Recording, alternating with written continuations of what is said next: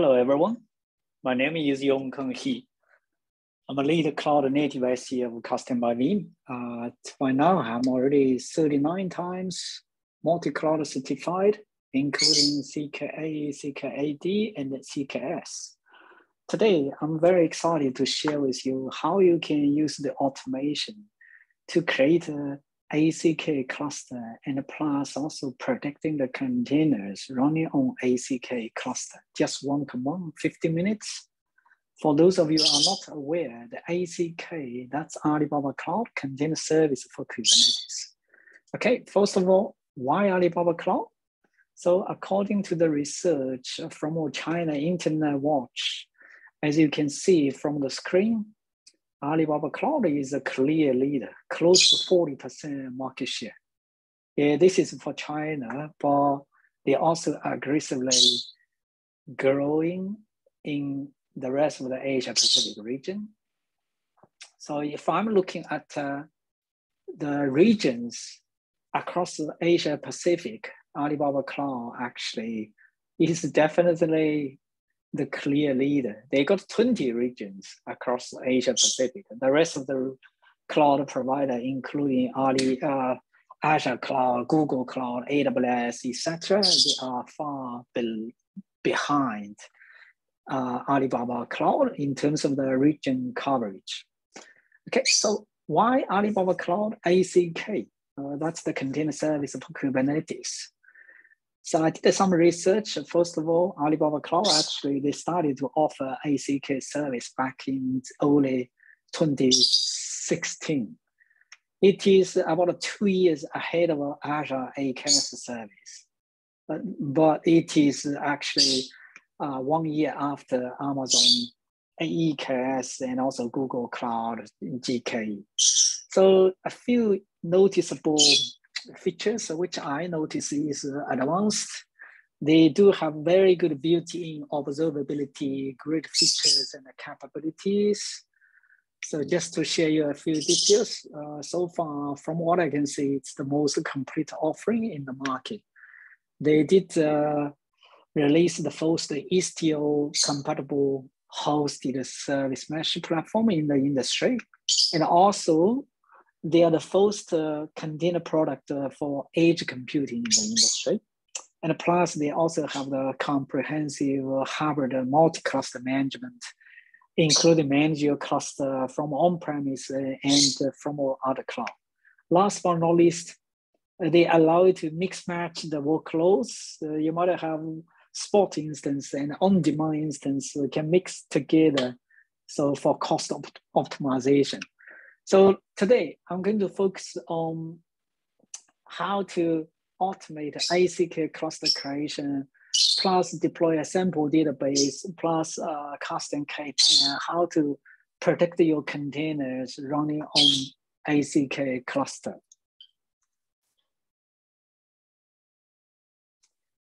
So first of all, I will show you how you can you know, build a ready-to-use lab environment, including ACK PostgreSQL plus K10, just one command in 15 minutes. And once you finish your testing, you actually you can clean up the whole environment by running another command to clean up the whole environment. Typically less than 10 minutes. So there is a little bit of preparation tasks. So first of all, you need to install Aliyun OSS utils uh, command line tools and configure. So basically you run to uh, the command listed here Aliyun config and OSS util 64 configure. That's for the management of the object storage. And after you've done that, you clone the repository from my GitHub page. So that's my automation scripts. And you run the preparation tasks first. You change it to the directory, run aliprepper.sh. So basically we will ask you uh, you know, access key and a secret key. And optionally, you can customize the cluster name, instance type, region, zone, etc. So what's the command? It is basically simple. It's deploy.sh. That's the command we're going to build the labs. So let me actually kick off the command now. So I switch to VS Code. So this is a, a terminal. I got uh, ACK-K10. I actually already cloned the repository. I already verified. I got the Aliyun command line tool installed. I got OSS util installed. And I did the clone. All I need to do is just run deploy. So after I kick off the deploy command, so you will see the message here. We are creating an ACK cluster. We're going to set the environment variables and a very importantly here. So you need to click the link. So if you read the screen correctly, so you copy the whole open API URL and paste to your browser. Uh, for my case, I just uh, you know click the link. We're going to launch a browser and from there, you click initial, initial call. So I click the link, uh, it will launch a browser. Actually, it to somewhere else. Yeah, let me bring it here.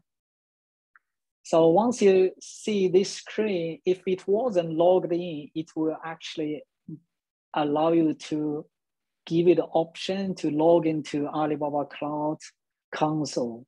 Once you're logged in, you just click initiate call. It's in the uh, bottom near the left corner. Click the initiate call. If it's somehow shows in Chinese, you go this button here, international, from over here, you can change to English. Okay, so I'm already changed to English. All I need to do is uh, click initiate call and just wait a few more seconds it will give you some message say the you know job finished. Once you see the response code 202, and then you can see the cluster ID, the request ID, etc. That means my job is done. So now let me come back to my VS Code. And from here, so as you can see from the screen, once you see response 202 code from the web browser, you come back to the command line, press enter. That's all we need to do, okay? So I'm actually spending quite a, a little bit time to figure out how we can fully automate to create a EK, uh, create an ACK cluster and plus deploy sample database, etc. So right now we're creating the cluster. If I jump to the web console of, of Alibaba Cloud, you can see I logged into Alibaba Cloud Console. You can see right now I'm building the cluster, the cluster name ACK for Yong 1545. That's the timing actually. So you can see right now the status is initializing. So to finish the whole job, it does take about, you know, 15 minutes. Most of the time, actually less than 15 minutes. It could be around 13 or 14 minutes uh, while we're building the cluster, you know, I'm going to pause here. I don't want to wait. Yeah, it does take about a 10 plus minutes. Let me pause here. We will come back. So right now we are initializing the creation of the ACK cluster. If I come back to the VS Code, you can see we're waiting for completion of creating ACK cluster. Now you might wonder, what exactly we are doing right now. So come back to my slide deck here. You can see what we are doing here. First of all, we are going to create the VPC, create the vSwitch, uh, and also gateway, the route, etc. Once we done that, we're creating the ACK cluster from our command line. And after the cluster is up running, we're going to install Kasten K10 that's the number one Kubernetes backup DR and uh, app mobility software. And then we're going to deploy a sample database, in this case, a PostgreSQL database. And we will create an object storage location profile, the OSS, that's Alibaba Cloud Object Storage Service. And we will also create a backup policy for Postgres. And uh, then basically the backup jobs will be scheduled automatically. These are all done, you know, automatically with just one command. About 15 minutes, the environment will be ready. The time by end of the scripting, you are expecting to see your token code, your web link to access Kasten web console. I will come back shortly.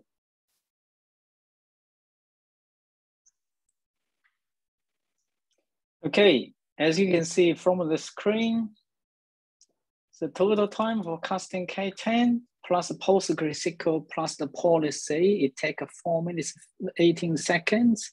And the total time for the whole environment creation, that's 15 minutes, 13, uh, 30 seconds. Yeah, just about, you know, 15 minutes. And uh, you might also notice here is a token code. If I double click, copy the token code, and then here is a link. I click the link, we're going to launch the Kasten web console.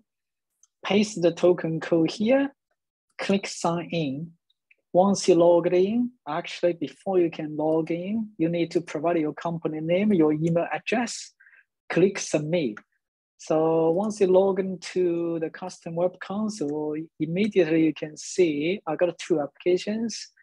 I got one policy, I got usage and the reports. The one policy I already created here.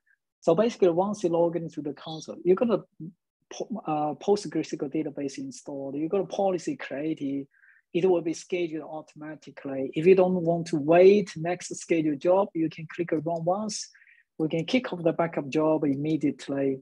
So for the purpose of this particular session, we're going to focusing on how to automate the whole environment. So I'm not going to spend too much time how you are going to back up uh, the containers, how you're going to restore the containers. I will include a few links, uh, which I recorded earlier, how to back up the containers, how to restore the containers. Just to highlight a few stuff here, if I click applications here, you can see my uh, Dash-PostgreSQL, that's my test database installed. If I go to the settings here, you can see I got uh, object storage OSS dash AP dash Southeast dash one dot com. That's my endpoint for the Ali Cloud object storage service. And it is running in Singapore region. This is my bucket name.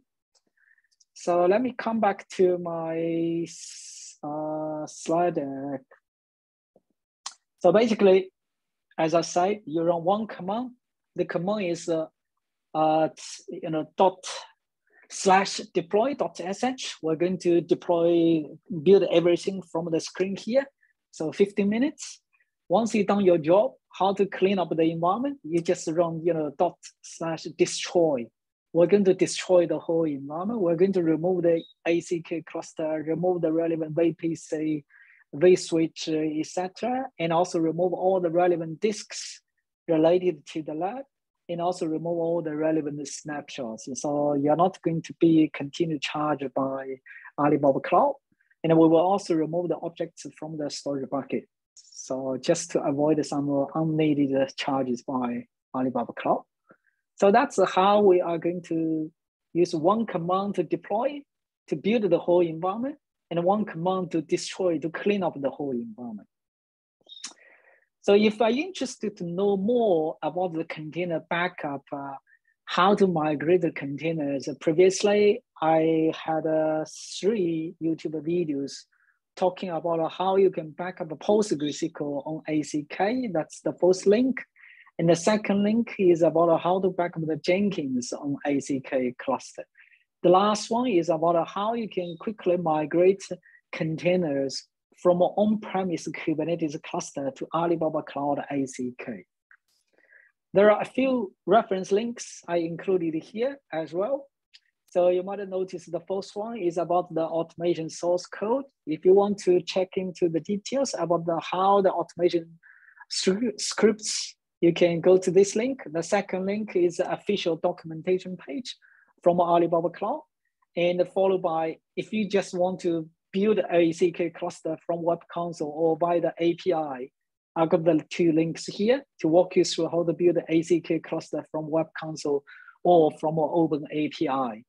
And uh, there is another link is about uh, how to build ACK cluster protected by the API. The last but not least is about Kubernetes free training and also Kasten documentation. Uh, if you're interested to try my automation tool. So the first automation tool I built on Google Cloud, six minutes, one command to build a GKE cluster PostgreSQL K10. The second one is Azure Cloud, eight minutes, one command, build a similar environment. And the third one is AWS Cloud, 20 minutes, one command to build the EKS Cassandra K10. So uh, the, the previous one, also I recorded the IBM Cloud, 45 minutes, one command to build an OpenShift cluster, including OpenShift container storage or OpenShift you know, data foundation and the MongoDB plus K10. Uh, right now, I'm recording the fifth automation tool. So for Alibaba Cloud, ACK cluster, you only need about 15 minutes. So it's kind of like in the middle in terms of the time, timing, how much time you spend to automate the whole environment.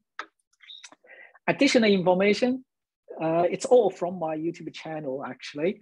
So my YouTube channel focusing on how to build the Kubernetes cluster from the popular distributions uh, like EKS, AKS, GKE, OpenShift, Rosa, Tanzu, Alibaba Cloud, ECP, HP, that's HP Ezmeral container platform. How to back up the containers, how to migrate the containers, how to build and predict the Kubernetes cluster via the automation. Okay, uh, the last one yeah, I want to highlight is, uh, you know, by now I'm already 39 times a multi-cloud certified, including CKA, CKAD, and CKS if you want to join me to learn together, here is you know my LinkedIn link. Feel free to follow me. You can also follow me on Twitter. Uh, you might be interested to join the Kubernetes data management group, or you might want to subscribe to my YouTube channel. So right now, 530 plus uh, subscribers and I recently just created a new Slack channel, also focusing on the same stuff for Kubernetes data management. So here is a link and uh, my automation source code available from GitHub page. So roughly around hundreds of clones every two weeks, pretty popular. That's pretty much all I want to cover for today. Yeah, I also included the, my uh, digital badges on the left hand side, you can see in 24, uh, 12 months, I did the 24 times multi-cloud certified. And on the right hand side, in the following six months, I did the 14 times uh, cloud certifications. Yeah, you might be interested to join me to become a Alibaba Cloud MVP, or you know, I'm also recently become a officially AWS community builders focusing on the containers. Thank you very much for watching. Feel free to send me any feedbacks or any questions. Have a good one. Bye. I'm actually forgot one thing. Yeah, let me show you how to you know destroy the environments. Uh, if I switch to my VS Code, let me switch to my VS Code from here, once you done your testing, you just run the destroy commands. So we will destroy the whole environment, typically in less than uh, 15 minutes, less than 10 minutes actually. If I come back to the web console of Alibaba Cloud, initially was initializing, but now becomes running status. Uh, and uh, after the job kicked off, the destroy job kicked off, if you do a refresh, you will see we're deleting the cluster. Basically, we are clean up uh, the whole labs. Okay, thank you very much. Uh, that's all I want to cover for today. Yeah, I hope it is useful to you. Feel free to send me any you know questions, comments, feedbacks. Thank you. Bye.